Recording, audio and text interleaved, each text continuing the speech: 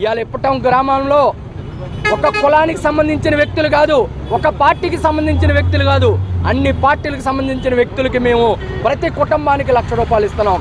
ఈరోజు ఇలాంటి నాయకత్వాన్ని కోరుకుంటుంది ఆంధ్రప్రదేశ్.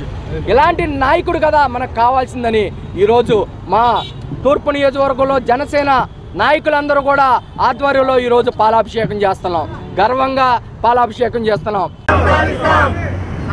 సాధిస్తాం పవన్ కళ్యాణ్ గారి ఆశయాలను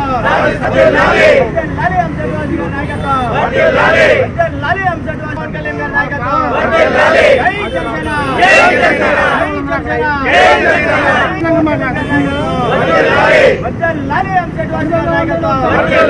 సాధిస్తాం సాధిస్తాం. పవన్ కళ్యాణ్ గారి ఆశయాలను పరిస్థితుల్లో పవన్ కళ్యాణ్ గారు ఈ రోజు వచ్చి ప్రతి సంస్థ మీద మీరు గమనించినట్టయితే వంద రోజులు టైం ఇచ్చారు ప్రభుత్వం వచ్చిన తర్వాత.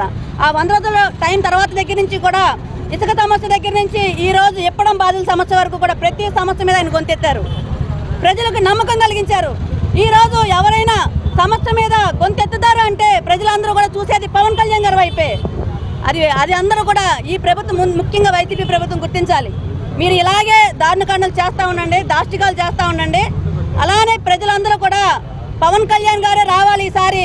ఎలా వచ్చినప్పటికీ కూడా పవన్ కళ్యాణ్ గారే ఈసారి ముఖ్యమంత్రిని చేసి తీరుతామని చెప్పని ప్రతి ఒక్కరు ప్రతిజ్ఞ చేసే విధానాన్ని మనం ఇప్పడం గ్రామంలో చూసాము.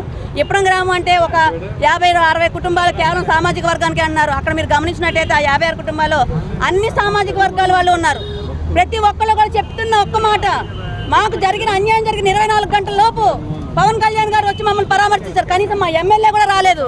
మేము ఓట్లేసి గెలిపించిన మా ఎమ్మెల్యే కూడా మేము ఎలా ఉన్నాము మా పరిస్థితి ఏంటి అని చెప్పి తెలుసుకోవడానికి రాలేదు. కానీ జనసేన అధ్యక్షులు ఒక్క సీటు లేని జనసేన అధ్యక్షులు వారు శ్రీ పవన్ కళ్యాణ్ గారు మా ఊరు వచ్చి మమ్మల్ని పరామర్శించారు.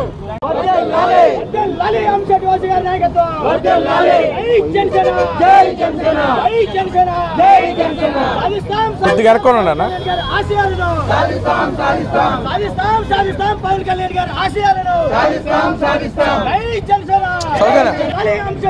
నాయకత్వం గారి వర్ధిల్లాలి జై జనసేన.